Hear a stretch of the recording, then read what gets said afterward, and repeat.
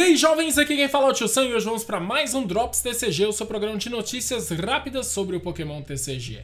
Bom, essa semana a gente teve muitas novidades e nas duas semanas anteriores a gente não teve quase nada, por isso que exclusivamente essa semana estamos tendo dois Drops TCG, mas o normal é ter apenas um, beleza? Então, segunda-feira que vem teremos o Drops TCG no seu horário e data normal. É, saíram alguns spoilers aqui, tipo Muck Alola e Alola Muck GX, a Dust Island e o Fighting Dojo do Sol e Lua 10. Todos eles virão na Double Blaze, que é uma coleção que lança aí no comecinho agora de março. Cara, Muck Alola Muck, precisava desse GX? Pra mim, o primeiro GX psíquico que viria seria o Mew com o Mewtwo, mas... Parece que, aliás, tivemos já o Gengar, né, mas o Mimikyu que estão representando teoricamente os fantasmas. E agora Muck Alola Muck representando os venenosos, mas ainda ansioso aí pelo Mew vs Mewtwo, né? Mew com Mewtwo. Não é possível que, que teremos apenas Monkey Alola Monkey. Vamos lá! 270 de vida, básico. Por uma energia de Psychic duas incolores, ele dá o Bad Poison. O Pokémon ativo do oponente agora está envenenado e você coloca 8 marcadores de dano ao invés de 1. Tio Sam, isso é estacável com o C-Viper da Soy Lua 2? É Soy Lua 2? É Soy Lua 2 ou 3 da habilidade lá. Inclusive tem as promos dela bonitas do pré-release. Sim. Aí a C-Viper aumenta para 9, duas C-Vipers aumentariam para 10, se tiver 4 em campo, aumenta para 12. entre turnos o cara toma 12 de dano. Sim, é verdade. E depois por uma incolor a mais, você dá o Poison Lick, 120 de dano. O Pokémon defensor do oponente agora está envenenado. Cure 100 de dano deste Pokémon. Bate 120 e deixa envenenado, só que aquele envenenado comum, de boa.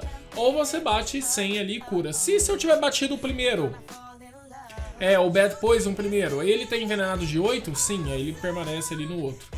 É, por nenhuma energia, que é uma característica aí dos Alolas, né? Por nenhuma energia ele dá o Stickling Mix GX.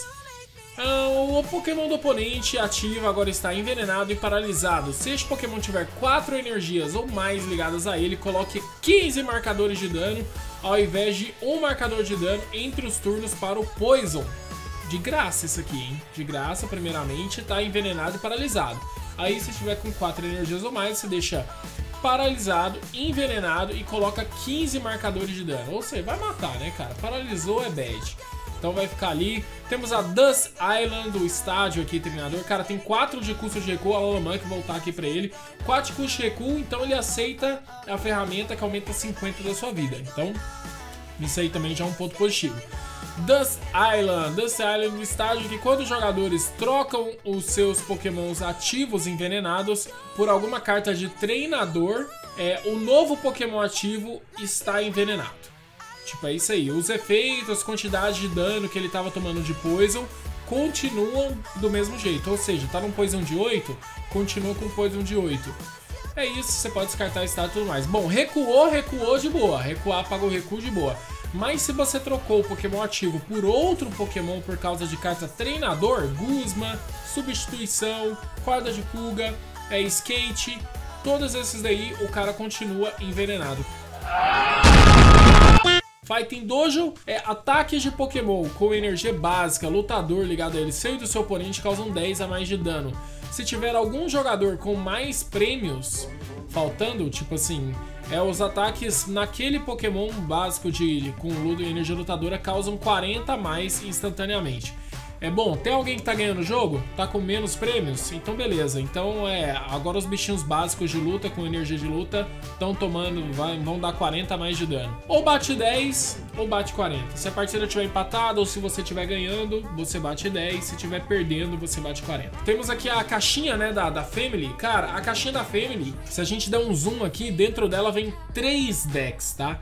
Um deck com Mewtwo, GX e Gyarados um deck com Charizard GX e Pinsir e um deck com Raichu GX e Wigglytuff GX. E dentro desse deck, cara, tem uma coisa que eu fiquei muito pirado aqui, vem liguinhas. Liguinhas. Sabe aquele aquele bracelete, aquele negocinho de borracha que a galera usava? Vem no tamanho para você guardar os decks. Três braceletes de Pokémon TCG para guardar o deck. E meu amigo, isso daí não vai dar certo, né, cara? Porque liguinha, ou ela vai estragar a carta aos poucos, ou ela vai estragar o shield. Ah não, mas é uma super ultra hiper tecnologia que não estraga nem deck nem sleeve. Mas beleza, vem para guardar o deck, teoricamente ensinando as pessoas a guardarem o deck dentro da caixa de novo. Opa, hoje eu vou com que deck? Pai, mãe e tal, jogar com a criança. Eu acho massa até mais. Eu acho que esse aqui é um produto que venderia bem aqui no Brasil se a gente tivesse isso. Pra gente, as lojas mesmo teriam um produto desse aberto, bem conservado, para ensinar novos jogadores. Como a gente viu no Drop CCG passado, os ataques do GX são todos de efeitos muito simples. É uma temática bem tranquila para se iniciar dentro do jogo. Então, é isso daí, eu fiquei mais curioso foi com a liguinha, cara, que faltou de falar sobre isso no vídeo anterior. Temos o Venomoth aqui, ó, da Soilua 10, 90 de vida, evoluído o Venolash, lembrando que a gente tem o Venomoth GX, tá, galera? Esse aqui é só um complemento, talvez, se ele for bom, pra gente jogar junto com o GX. Por uma energia incolor, ele dá o Assassin Flight. Você pode usar esse ataque apenas se o oponente, o Pokémon ativo do oponente, estiver afetado por uma condição especial. Esse ataque causa 90 em um dos pokémons do banco do oponente. Se o Pokémon ativo do oponente está com condição especial, você pega e bate 90 no banco. Não bate em nada. Então é tipo, opa, já tá Poison? Sobe o Venonete, o Venomoth, o Venomoth pega e começa a sniper a galera do banco para dar uma facilitada ali depois pro Alonomunk continuar. Sei lá, pensei isso mais porque a gente leu isso agora. E também o Venomoth ele tem push recuo zero, então é algo que vai ajudar aí esse combo a funcionar. Por uma energia de grama, ele dá o Poison Powder, que causa 30 de dano e deixa o Pokémon ativo do oponente envenenado. Ah, temos aqui uns rolês novos, cara, que tipo, a, a Double Color está pouco no formato, então vamos para uma Triple Colors Energy na Soilua 10. Aí sim, a gente já teve essa energia antes, sabe? Tipo de Aquapolis, a Bush Energy. Mas agora ela tá levemente diferente. Eu vou mostrar pra vocês as duas. Vamos lá, primeiro Porygon Z, 130 de vida, estágio 2, habilidade Crazy Code. Você pode usar essa habilidade quantas vezes você quiser durante seu turno e você liga uma energia especial da sua mão em um dos seus Pokémon. Ele tem a chuva lá das energias básicas do Embower para energia de fogo, do que o Blastoise fazia pelos Pokémon de água, do que o Magnezone faz pelos elétricos e pelos metálicos. Ele tem por energia especial. Três energias incolores ele dá o Tantrum, 120 de dano e o Pokémon defensor está confuso. Agora sim, Triple Boost Energy. A Triple Boost Energy só pode ser ligada em Pokémon evoluído e você descarta a Triple Boost Energy no final do turno que você ligou ela. Ou seja, ela serve para você colocar, atacar e depois descarta e você não tem mais energia ligada no seu Pokémon. Ela vai prover três energias incolores enquanto estiver ligada a um Pokémon. É, cara, é literalmente, literalmente a mesma coisa que a Bush Energy. A Bush Energy ela, tipo, só podia ser ligada em Pokémon evoluído, você descarta no final do seu turno e ela provine três energias incolores. A Bush Energy, é, Pokémon com a Bush Energy não pode recuar. Então, o que a, a diferença aqui é que antes você não podia e agora você pode colocar energia no Pokémon, pagar um custo de recuo de 3. Antes você não podia recuar, você só podia colocar ela para atacar. A arte dessa carta é muito bonita, podia ser uma double nova, né? Se tirasse essa terceira bolinha aí, ficou bem bonita a arte da carta, mas tem muita coisa aí com 3 energia incolor que vai passar a jogar com essa energia, viu? Então ficar esperto aí. Esse Porygon, eu acho que por mais ter uma habilidade legal, não vai ver jogo não. Uh, temos aqui algumas cartas novas da coleção Detetive Pikachu. Como sempre, elas não fazem nada, mas elas têm arte bem interessante. O Psyduck 80 de vida por uma energia eh, de água, ele dá o Panic para 10 de dano e agora o Pokémon está confuso. Este Pokémon está confuso, o Psyduck fica confuso. O Mr. Mime tem 80 de vida, tá aí fazendo a dança da motinha e ele tem a habilidade Pantomime. É, quando você joga esse Pokémon da sua mão pro seu banco, você pode trocar é, uma das suas cartas virar de prêmio virada para baixo pela carta do topo do seu deck. Que efeito totalmente randômico. Por uma energia psíquica incolor, ele dá o Juggling, joga 4 moedas para cada cara, dá 20 de dano. E aí temos o senhor Jigglypuff, que tá bonitão na arte da carta. Olha esse zóio azul aí, meu amigo. 60 de vida fada, por uma energia de fada, ela cura 10 de cada um dos seus Pokémon. Simplesmente assim. E olha lá o símbolozinho da coleção do Detetive Pikachu, né, cara? A lupinha ali com o rabinho do Pikachu. São 18 cartas apenas e é isso daí, cara. É uma coleção bem rápida, eu acho que pra quem, né? Eu vou colecionar isso aí, cara. Colecione também, é fácil.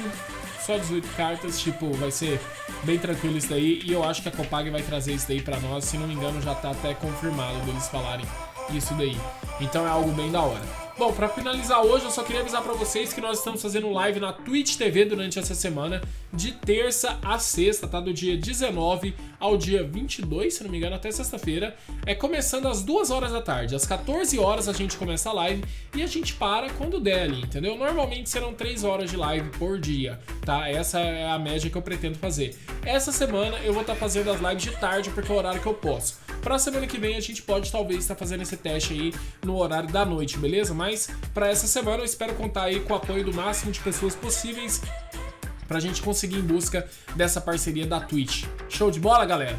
Então é isso aí. Queria lembrar vocês que o site da playgroundsp.com.br também tem toda a linha de produtos de Pokémon CG que você precisa, cartas avulsas, inclusive essas cartas avulsas, meu amigo, eu falo, eu aviso, compra antes que depois o trem carece. Então quando voltar em um giragem da vida, os negócios aí da vida, aproveite o seu cupom de desconto, basta digitar o cupom TIUSAN, TIUSAN, você vai ganhar 5% de desconto na sua compra. Não precisa ser para cartas avulsas nem produtos selados, pode ser para acessórios, para códigos online, o que você quiser, digitou o cupom TIUSAN, você ganha 5% de desconto no site da Playground, beleza? É o nosso parceiro aqui oficial do canal. Gente, basicamente é isso. Qual foi a novidade que vocês mais gostaram? Eu acho interessante a Triple Boost Energy voltar e eu gostei muito desse Venomoth aí, viu, cara? Eu acho que vai rolar um negócio aí interessante. O Monkey, cara, esse lance de condição especial, acho que tem aquele bichinho metálico lá que não deixa condição especial, pode virar uma coisa meio meta aí. Se isso daí passar a ser meta, é facilmente controlável, condições especiais no geral. Então, eu acho que não tem tanto potencial assim, mas a energia eu gosto. A energia, sinceramente, eu acho da hora. Bom, galera, espero que todos vocês estejam passando por um ótimo dia. Fiquem com Deus, aquele abraço e Brofish dos Bros. Não esquecem, durante toda a semana, twitch.tv barra 82 live a partir das 2 horas da tarde de terça a sexta. É nóis, valeu demais! Uh!